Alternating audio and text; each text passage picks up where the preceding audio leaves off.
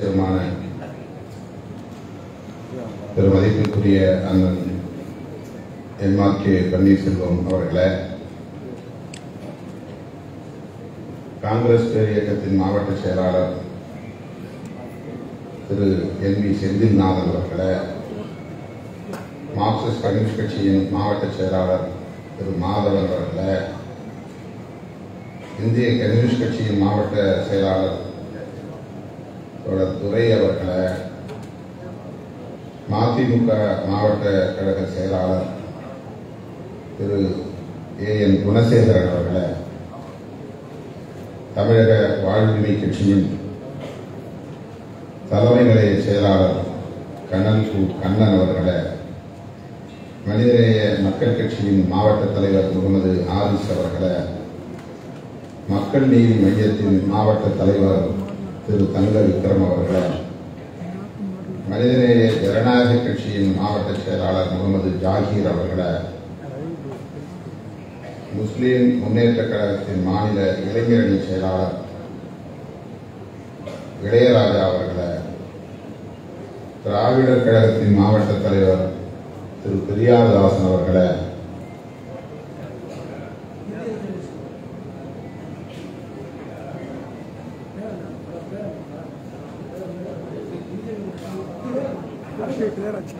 இந்திய யூனியன் முஸ்லீம் லீக்கின் மாவட்ட தலைவர்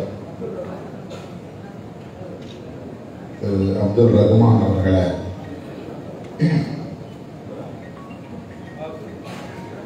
மற்றும் திராவிட முன்னேற்ற கழகத்தின் ஒன்றிய மேற்கு ஒன்றிய செயலாளர் திரு ஆ முத்துசாமி அவர்களே கிழக்கு ஒன்றிய செயலாளர் பாண்டியன் அவர்களே மாவட்ட கழக பொருளாளர் அண்ணன் எம்ஆர்கே அவர்களின் அடுத்த அரசியல் வாரிசாக களத்தில் நிலவன் கதிரவன் கிழக்கு ஒன்றிய செயலாளர் பாண்டியன் அவர்களே பேரூர் நகர செயலாளர் கணேசமூர்த்தி அவர்களே காங்கிரஸ் கட்சியின் ஒன்றிய செயலாளர் கிழக்கு கண்ணன் அவர்களே மேற்கு சங்கர் அவர்களே நகர தலைவர் அன்பர் அவர்களே மார்க்சிஸ்ட் கம்யூனிஸ்ட் கட்சியின் மாவட்ட குழு பொறுப்பாளர் தோழர் பிரகாஷ் அவர்களே வட்ட செயலாளர் தேர்மொழி அவர்களே நகர அமைப்பாளர் மணிகண்டன் அவர்களே சிபிஐ வட்ட செயலாளர் முருகவேல் அவர்களே நகர செயலாளர் ரவி அவர்களே மதிமுக ஒன்றிய செயலாளர் கிழக்கு பிரகாஷ் அவர்களே மேற்கு சிவக்குமார் அவர்களே பேரூர் கழக செயலாளர் செந்தில் அவர்களே தமிழக வாழ்வுரிமை கட்சியின் மாவட்ட செயலாளர் சேரலாதன் அவர்களை மாவட்ட தலைவர் ஆளவந்தார் அவர்களே நகர செயலாளர் ஜோதிவேல் அவர்களே மாமகவினுடைய ஒன்றிய செயலாளர் அன்பர் அவர்களே நகர தலைவர் முகமது பாஷா அவர்களே மக்கள் நீதி மையத்தின் தெற்கு ஒன்றிய செயலாளர் கதிர்காமன் அவர்களே வடக்கு ஒன்றிய செயலாளர் அப்துல் அஜீஸ் அவர்களே நகர செயலாளர் பன்னீர்செல்வம் அவர்களே மனிதநேய ஜனநாயக கட்சியின் நகர செயலாளர் முகமது யூனுஸ் அவர்களே ஒன்றிய செயலாளர் காசிம் அவர்களை முஸ்லிம் முன்னேற்ற கழகத்தின் ஒன்றிய செயலாளர் கண்ணன் அவர்களே நகர செயலாளர் கணேஷ் அவர்களே.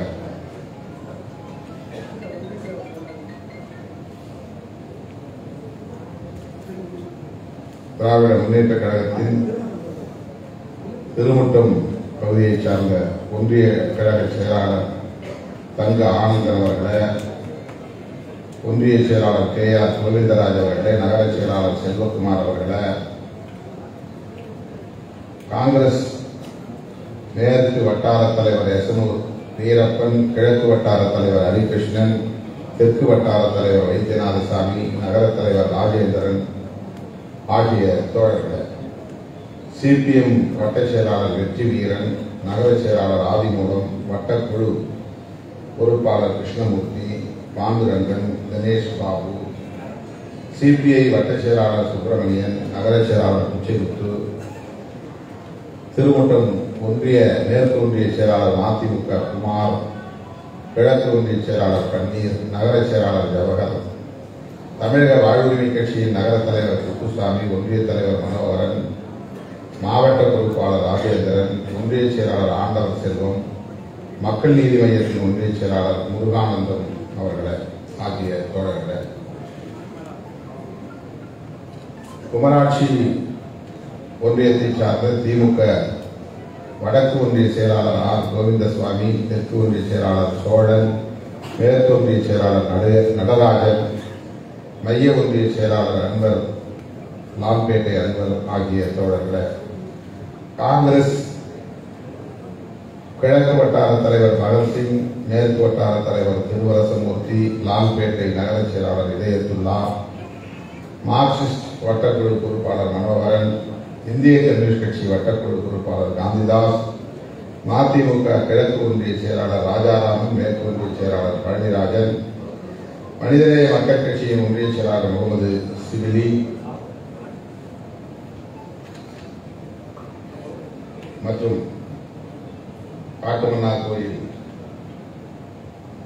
இந்திய கம்யூனிஸ்ட் கட்சி வட்ட செயலாளர் தூரவேல் வட்டக்குழு சிதம்பரம் கிளை செயலாளர் சேதுராமன் வட்டக்குழுவை சார்ந்த இளங்கோவன் திருமுட்டம் பகுதியைச் சார்ந்த சுந்தரலிங்கம் விநாயகமூர்த்தி இச்சமுத்து ஆகிய தோழர்களை.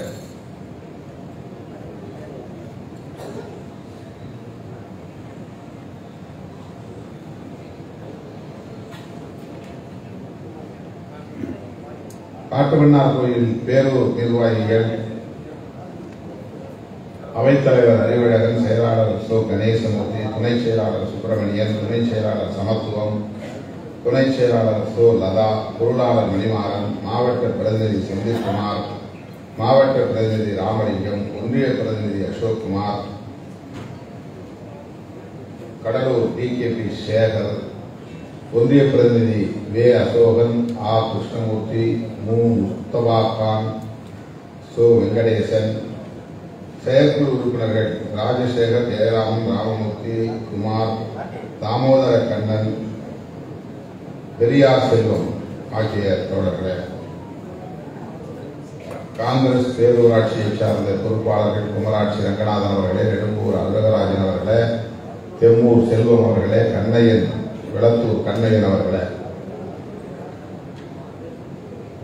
விடுதலை சிறுத்தைகள் கட்சியின் பொறுப்பாளர்கள் கட்சியின் பொதுச் செயலாளர் சட்டமன்ற உறுப்பினர் தோழர் சிந்தனை செல்வன் அவர்களை மாவட்ட செயலாளர் எல் கே மணவாளன் அவர்களை மண்டல பொறுப்பாளர்கள் தேவ அருள் பிரகாசம் தாமு இனியவன் முல்லை வளவன் மோகன்குமார் வாக்கா செல்லப்பன் வழக்குரைஞர் நாகை சாதி கௌதமன் கோபு ஆகிய தோழர்களை.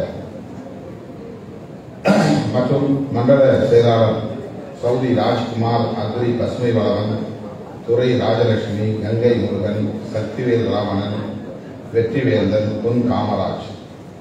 ஒன்றிய நகர பொறுப்பாளர்கள் ராமலிங்கம் காசிநாதன் ரவி தென்னவன் பகலவன் கு நாகராஜ் கா. திருநாவுக்கரசு குப்புசாமி பேரூராட்சி கவுன்சிலர்கள் பன்னீர்செல்வம் ஆக்கடரசு சிறுகாட்டூர் ரவி உள்ளிட்ட முன்னணி பொறுப்பாளர்களை சிபிஎம் படிச்சிருக்கேன்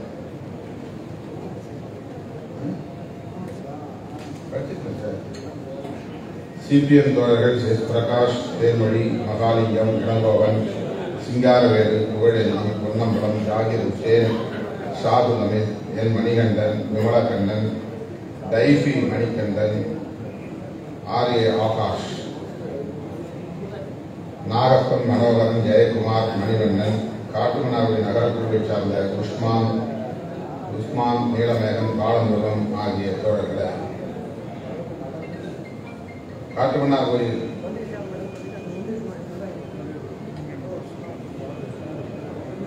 மேற்கு ஒன்றிய செயலாளர் ஆர். முத்துசாமி அவைத்தலைவர் கருணாநிதி பொருளாளர் சண்முகம் ஒன்றிய துணை செயலாளர்கள் பாஸ்கர் பாலமணிகண்டன் உஷா மாவட்ட பிரதிநிதிகள் கல்யாண சுந்தரம் ராஜேந்திரன் பழனிராஜன் கிழக்கு ஒன்றிய அவைத்தலைவர் சின்னப்பா பொருளாளர் ஜெயபாண்டியன் ஒன்றிய துணை செயலாளர்கள் நிசார் அகமது சிவகுமார் கோமதி சிவதாஸ் மாவட்ட பிரதிநிதிகள் உத்தராபதி செந்தில்குமார் கதிர்வேல் ஆகிய தோழர்கள். மதிமுகவின் மாவட்ட கவுன்சிலர் எம் எஸ் கந்தசாமி அவர்களே மாவட்ட பொருளாளர் செந்தில்குமார் அவர்களே துணை செயலாளர் அருள்மணி பொதுக்குழு உறுப்பினர் சாமி அண்ணாதுரை விவசாய சார்ந்த பீமா ராமமூர்த்தி ஒன்றிய செயலாளர்கள் குமார் பிரகாஷ் சிவகுமார் பழனிராஜன் பந்தன் செந்தில் ஆகிய முன்னணி மதிமுக நிர்வாகிகளே.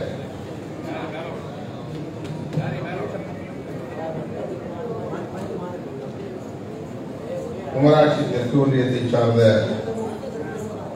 மா சோழன் அவைத்தலைவர் செல்வா செல்வகாந்தம் ஒன்றிய துணைச் செயலாளர் சகாதேவன் துணைச் செயலாளர் சக்திவேல் பழனியம்மாள் திராவிட செல்வம் ராஜாராமன் பழனிசாமி சங்கர் பாலமுருகன் ஆகிய தோழர்களே. மக்கள் நீதி மையத்தின் நகர செயலாளர் பன்னீர்செல்வம் ஒன்றிய செயலாளர் கதிராமன் ஒன்றிய செயலாளர் அப்துல் அசீஸ் மாவட்ட நற்பணி இயக்க அமைப்பாளர் வேதகிரி ஆகிய தோழர்கள். திராவிடர் கழகத்தை சார்ந்த மழலை கோவி பெரியதாசன் தலைமையில் இயங்கும் தோழர்கள் பொன் பஞ்சநாதன் பா. முருகன் பா. சண்முக சுந்தரம் பெரியண்ணசாமி இன்னொரு பஞ்சநாதன் ஆகிய தோழர்கள் புரட்சிகர சோசியலிஸ்ட் கட்சியை சார்ந்த ஸ்ரீமுஷ்ணம் தமிழரசன் மாதசங்க பொறுப்பாளர் ராணி ராஜாராமன் சசிகுமார் ஆகிய தோழர்கள் திமுக லால்பேட்டை பொறுப்பாளர்கள் நகர செயலாளர் அன்வர் சதாவி நகர துணை செயலாளர்கள் இர்சாத் அகமது முகமது அன்- மன்சூர் நகர பொருளாளர் பயாத் அகமது மாவட்ட பிரதிநிதி முகமது ஃபாரூக் வார்டு செயலாளர் அன்வர் இளைஞரணி அமைப்பாளர் ரியாஸ் அகமது ஆஷிக் அலி நிஜாமுதீன் ரிஜ்வான் ஆகிய தோழர்களே.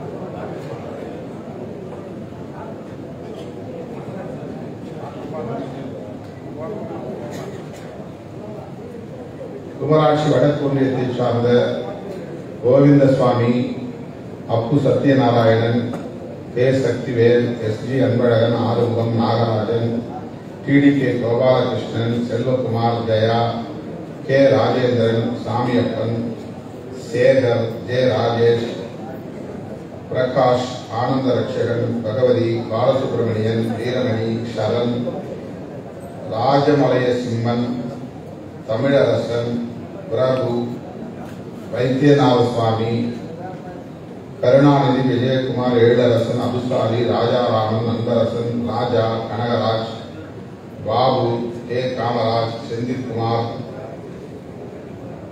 Tamilarasan Balu Kamalesh Kathiravan இ- நேரு நீலமேகம் ரஞ்சித் பாலாஜி சக்தி முருகன் ஸ்டாலின் ராஜசேகர் ராஜாவேல் ராஜேஷ்குமார் பிரசன்னா ஆகிய தோழர்களே. விவசாய சங்க தலைவர் இளங்கீரன் அவர்களே. மற்றும் விடுதலை சிறுத்தைகள் கட்சியின் முன்னணி பொறுப்பாளர்கள் விடுதலை செழியன் பாவரசு உள்ளிட்ட முன்னோடிகளே இந்த காட்டுமன்னார்குடி தொகுதியை சார்ந்த நமது தோழமை கட்சிகளின் முன்னணி பொறுப்பாளர்களை. வாக்காள பொதுமக்களே உங்கள் அனைவருக்கும் நன்றி பெருக்கோடு எனது வணக்கத்தை தெரிவித்துக் கொள்கிறேன். பத்து மணிக்கு தொடங்கி இருக்க வேண்டும். சற்று காலந்தாழ்ந்து நாம் தொடங்கி இருக்கிறோம். அதற்கடுத்து சிதம்பரம் செல்ல வேண்டும். இன்றே புவனகிரியிலும் நன்றி சொல்ல வேண்டும் என்று மாண்புமிகு அமைச்சர் அண்ணன் எம்ஆர்டி அவர்கள் ஏற்பாடுகளை ஒழுங்கு செய்திருக்கிறார். நாளை அரியலூர் பகுதியிலே இதே போல மூன்று சட்டமன்ற தொகுதிகளிலும் களப்பணி ஆற்றிய தோழர்களை சந்திப்பது என்று திட்டமிட்டிருந்தோம். விக்கிரவாண்டி சட்டமன்றத்திற்கான இடைத்தேர்தல் அறிவிக்கப்பட்ட நிலையில் மாண்புமிகு முதல்வர் அவர்கள் அதற்கான பணிகளை முடுக்கிவிட்டிருக்கிறார். நாளை அனைத்து தோழமை கட்சி தலைவர்களும் பங்கேற்கக்கூடிய செயல் வீரர்கள் கூட்டம் நடைபெற உள்ளது. ஆகவே நானும் அங்கே நாளை செல்ல வேண்டும். எனவே நாளை அரியலூர் பகுதியிலே நடைபெறுவதாக இருந்த நிகழ்ச்சிகள் ஒரு சில நாட்களுக்கு தள்ளி வைக்கப்பட்டிருக்கிறது இன்றைக்கு நாம் ஏற்பாடு செய்தபடி மூன்று இடங்களிலும் நமது தோழமை கட்சி தலைவர்களை சந்தித்தாக வேண்டும். மாண்புமிகு அண்ணன் அவர்கள் அவருக்கே உரிய பாணியில் இந்த வெற்றிக்கு பாடுபட்ட அனைவருக்கும் நன்றியை வெளிப்படுத்தியதுடன் எப்படி இந்த தொகுதியில் நாம் இணக்கமாக இருக்கிறோம் என்பதையும் எடுத்துரைத்தார். முதலில் நாம் அனைவரின் சார்பாகவும் மாண்புமிகு அமைச்சருக்கு நெஞ்சார்ந்த நன்றியை காண்பிக்கிறார்கள். அவருடைய இடத்தில் இருந்து பொறுப்புணர்வோடு அனைத்து தோழமை கட்சி பொறுப்பாளர்களையும் அரவணைத்து மிகச்சிறப்பாக களப்பணியாற்றிய அன்பு இளவல் எம்ஆர்கேபி கதிரவன் அவர்களுக்கும் எனது திமுக காங்கிரஸ் இடதுசாரிகள் மதிமுக தமிழக வாழ்வுரிமை கட்சி மனிதநேய மக்கள் கட்சி இந்திய யூனியன் முஸ்லீம் லீக் மூவேந்தர் முன்னேற்ற கழகம் முஸ்லீம் முன்னேற்ற கழகம் என்று நமது தோழமை கட்சிகள் மிக விரிவான ஒரு கூட்டணி. இந்த கூட்டணியை சார்ந்த தோழமை கட்சிகளின் அனைத்து தலைவர் பெருமக்களுக்கும் களப்பணியாளர்களுக்கும் எனது நெஞ்சார்ந்த நன்றியை தெரிவித்தார்கள்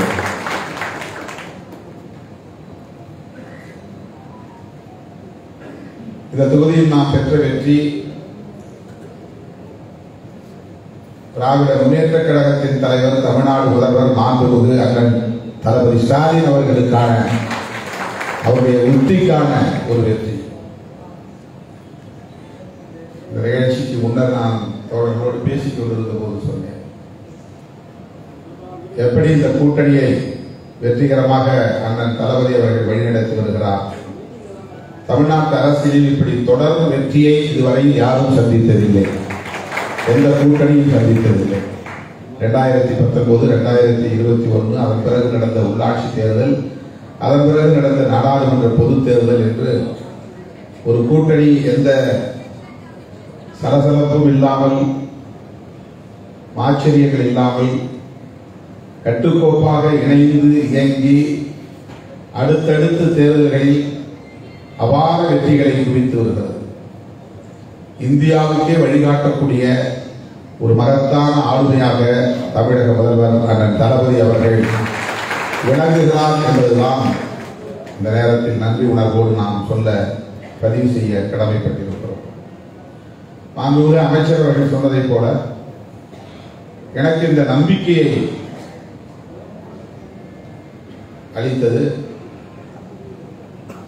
எந்த சவாலாக இருந்தாலும் சந்திப்போம் என்கிற அந்த நம்பிக்கையை அளித்தது.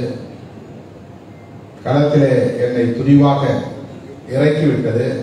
மாண்புமிகு அமைச்சர் கண்ணன் எம்ஆர்ஏ அவர்கள் என்பதிலே யாருக்கும் மாற்று கருத்தில்லை அதற்காக நான் மீண்டும் ஒரு முறை அண்ணனுக்கு நன்றி சொல்ல கடமைப்பட்டிருக்கிறேன். அவர் இரண்டு செய்திகளை இந்த தொகுதி மக்களுக்கும் நாட்டு மக்களுக்கும் திரும்ப திரும்ப சொல்லி பதிவு செய்து வருகிறார் அவருடைய இயல்பான பேச்சு இருந்தது அலங்கார சொற்கள் ஏதுமின்றி மிக இயல்பான உரையாடலில் எப்படி கருத்துக்களை வெளிப்படுத்த முடியுமோ அப்படி சொல்லி வருகிறார். ஒன்று திருமாவளவன் தலித் அல்லாத சமூகத்திற்கு எதிரானவர் இல்லை. அவர் அளவு- அனைவருக்கும் ஆனவர். இதுதான் நான் சொல்ல விரும்புகிற செய்தி. அப்படி ஒரு தோற்றம் இங்கே உருவாக்கப்பட்டிருக்கிறது. ஆனால் அத்தகைய நபர் அல்ல திருமாவளவன். இதுதான் அவர் சொல்ல விரும்புகிற முதல் செய்தி. இரண்டாவது செய்தி அவரால் தலித் அல்லாதவர்களுக்கு எந்த பாதிப்பும் ஏற்படுவதில்லை ஏற்பட்டதில்லை ஏற்படாது. இதுதான் இரண்டு செய்திகளை அவர் ஒவ்வொரு தேர்தலிலும் முன்வைத்து அந்த அடிப்படையில் தான் ஊர் ஊராக சென்று வீதி வீதியாக சென்று மாறுபட்ட கருத்துள்ளவர்களிடமும் எடுத்துரைத்து நயம்படை எடுத்துரைத்து கூட்டணிக்காக செய்கிறேன் வேறு வழி இல்லாமல் செய்கிறேன் என்று மனதுக்குள்ளே ஏதோ ஒரு இறுக்கம் வைத்துக் கொண்டு ஒவ்வாமல் அவர் செய்யும். வழி இல்லை டிஎம்கே அலையன்ஸில் இருக்காங்க மேலே சொல்லிட்டாங்க. அதனால் நான் வரேன். அதனால் நீங்கள் ஓட்டு கேட்க வரேன் நீங்கள் ஆதரவு தாங்க. அப்படி இல்லை.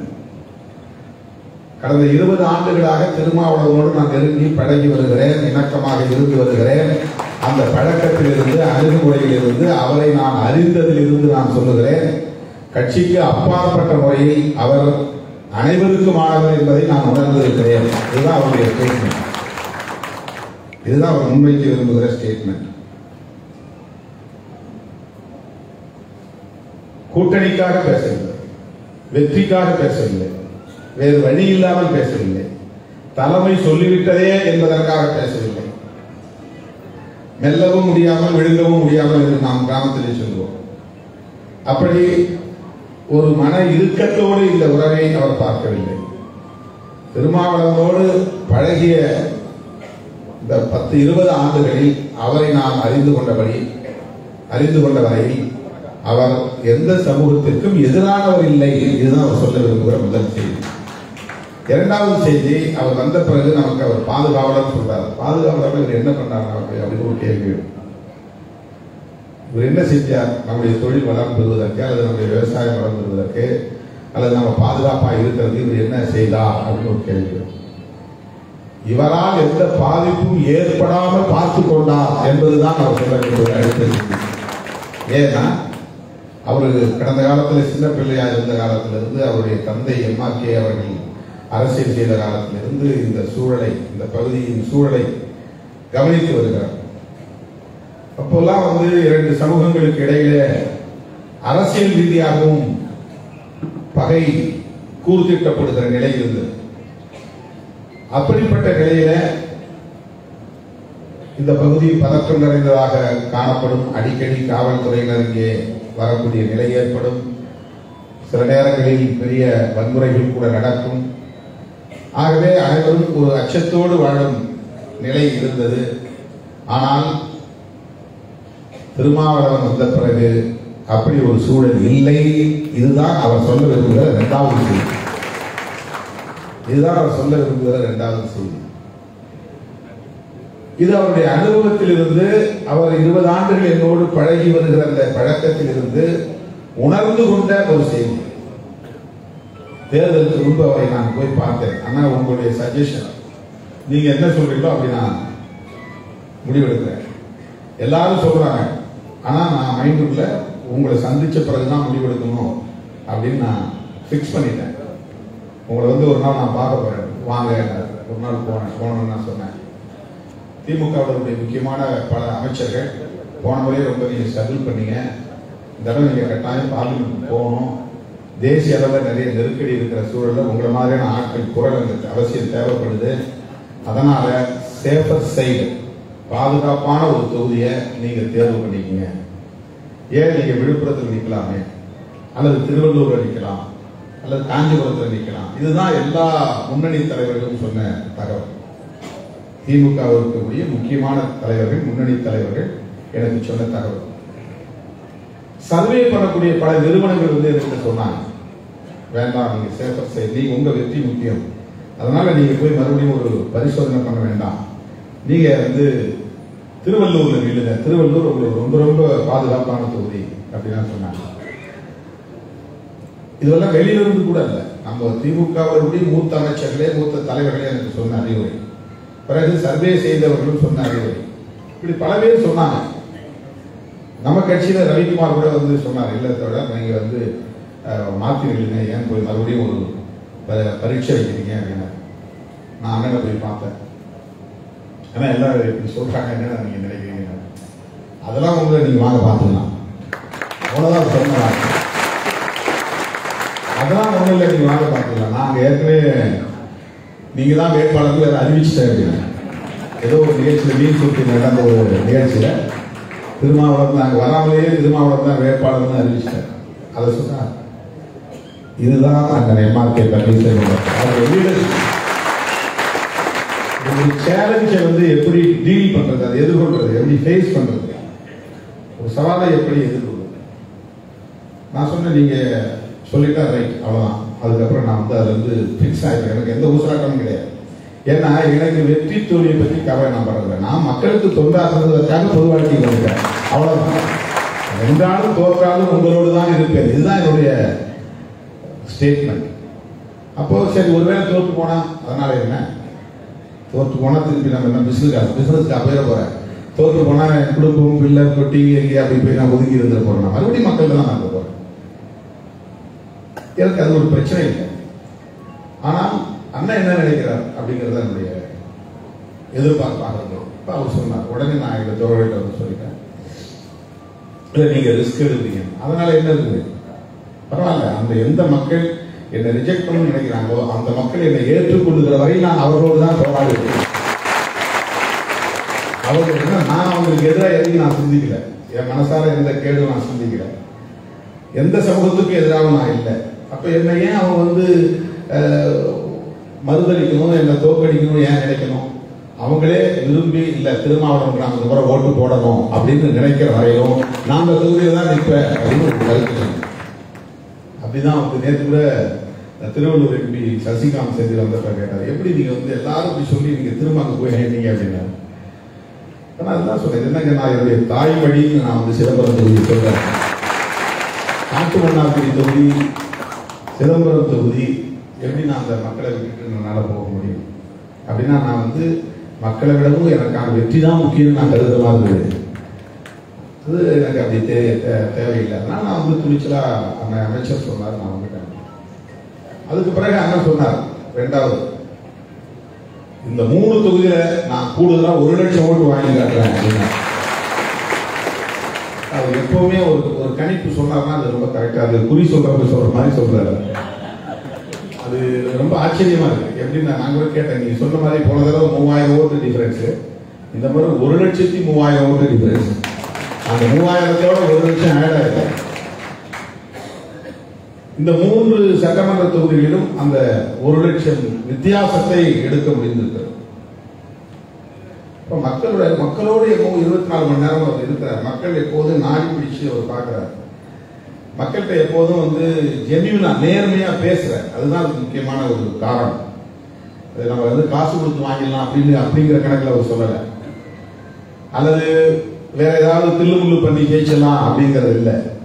அவர் இருபத்தி நாலு மணி நேரமும் கட்சி தொண்டர்களோடவும் மக்களோடவும் நெருக்கமாக இணக்கமாக இருப்பதனால் அவர்கிட்ட வேற எந்த மாய்மால வித்தையும் கிடையாது. மணிக்கணக்கில் வந்து அலங்காரமாக பேசக்கூடிய அந்த பேச்சாக்கள் கிடையாது.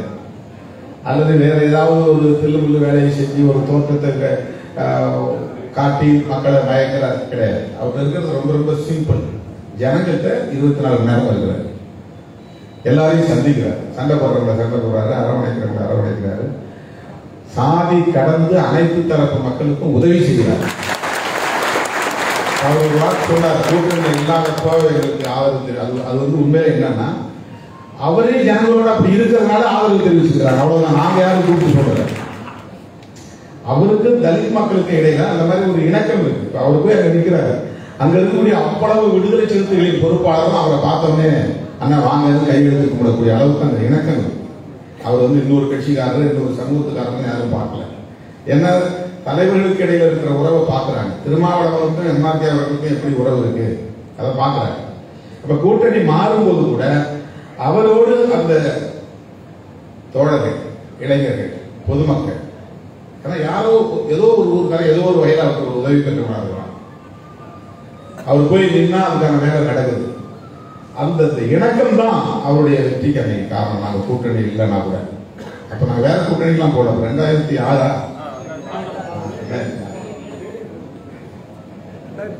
சட்ட நாடாளுமன்ற தேர்தலில் நாங்க எல்லாரும் திமுகவோட தான் நின்றுக்கிறோம் தனியா நின்றுதான் திமுகவோட தான் நின்றுக்கிறோம் தொண்ணூத்தி ஒன்பதுல மூப்பனாரோட நின்றா ரெண்டாயிரத்தி நாலுல தனியா ஒரு கூட்டணி அமைக்க நேர்ந்தது. அதுக்கப்புறம் ரெண்டாயிரத்தி ஒன்பதுல திமுக கூட்டணி நட்சத்திர சின்னத்தில் வெற்றி பெற்றோம். தொண்ணூத்தி ஏழாயிரம் ஓட்டு வித்தியாசம்.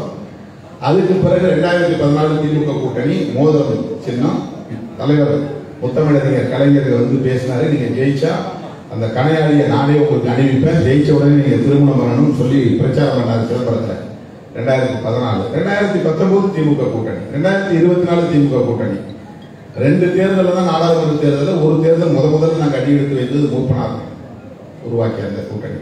ரெண்டாயிரத்தி நாலில் திமுக கூட்டணியோட எங்களால் பயணிக்க முடியாத ஒரு நிலை ஏற்பட்டு நான் அண்ணன் மக்கள் தமிழ் தேசம் உருவாக்கின கண்ணப்பன் அவர் அண்ணன் பஷீர் தேசிய லீக்கு அப்புறம் புதிய தமிழகம் அப்புறம் ஜார்ஜ் பெர்னாண்டஸ் ஜேடியு இந்த இயக்கம்லாம் ஒன்றா சேர்ந்து அமித்ஷா வேணும் அவர் தனியாக தான் நீங்க அண்ணா திமுக போல அப்ப இதுவரைக்கும் நாடாளுமன்ற பொதுத் தேர்தலை பொறுத்தவரையில் திராவிட முன்னேற்ற கழகத்தோடு தான் அதிகமாக பயணிச்சிருக்கிறோம். நாலு முறை.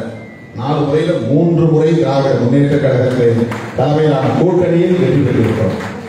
எனவே தமிழ்நாடு முதல்வர்களுக்கும் இந்த நேரத்தில் மனம் நிறைந்த நன்றியை நான் உரித்தாக்குகிறேன். இவ்வளவு பெரிய வெற்றியை வழங்கிய காட்டுமன்னார்குடி தொகுதி வாக்காளர்களுக்கு அந்த வாக்குகளை சேகரித்தவர்கள் அனைவருக்கும் என்னுடைய உற்சாக நன்றியை தெரிவித்துக் கொள்கிறேன். அண்ணன் சொன்னார் இந்த பானை சேர்ந்து அவரே சொல்லிட்டார் முழுக்க.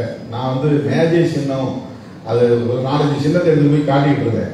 நான் பானையை காட்டவே இல்லை. இவர் வந்து இது என்ன சின்னம் பானை என்ன?